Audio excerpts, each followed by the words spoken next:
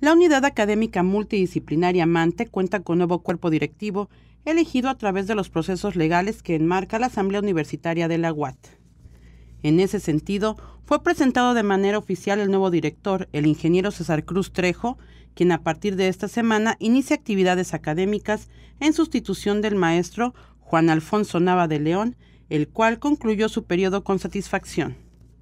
El nuevo director agradeció la confianza otorgada y se comprometió a abrir un puente de comunicación que permite establecer nexos académicos como facilitadores de la nueva generación del conocimiento.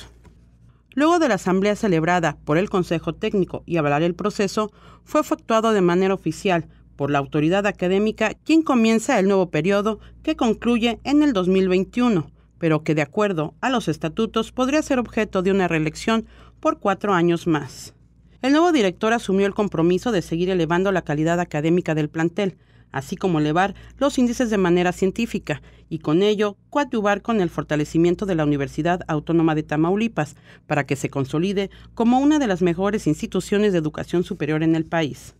Atestiguaron el acto el cuerpo académico con invitados especiales de la Universidad Autónoma de Tamaulipas de la capital del estado.